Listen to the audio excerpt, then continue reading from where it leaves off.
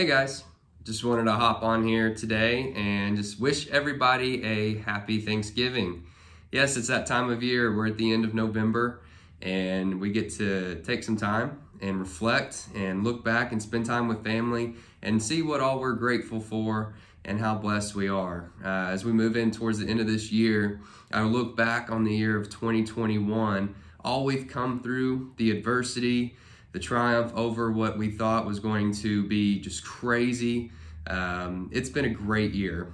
And as I reflect, I look back and I'm so thankful for all the clients I've had this year. I'm so thankful for getting to meet them, to getting to work with them, for the friendships made through this um, industry of real estate.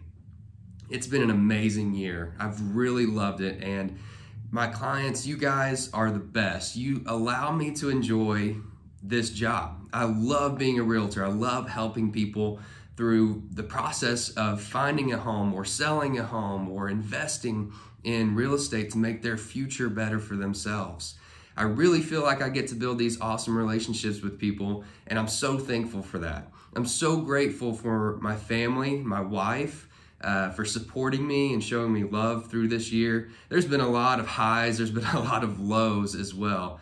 Um, this world's been crazy over the last couple years, honestly, and it's uh, it's affected everybody, and everybody really can see that in the real estate world. So I'm just thankful and I'm so grateful for all of you and the love you show me and the friendships and the relationships we get to build, um, even through work.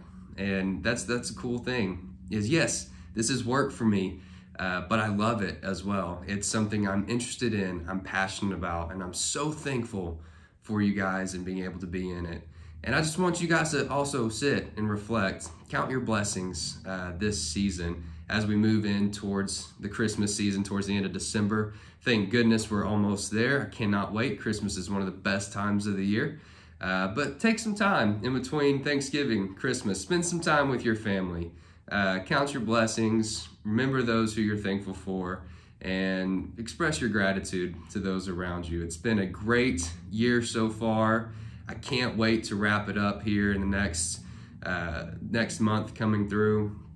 It's going to be great, and I can't wait to see you guys soon. So remember, if you haven't been uh, watching this vlog for very long, this is just a short clip, but we love to do property tours. We love to do uh, interviews of just talking about what's new in real estate and different trends coming up. So that being said, hit the subscribe button.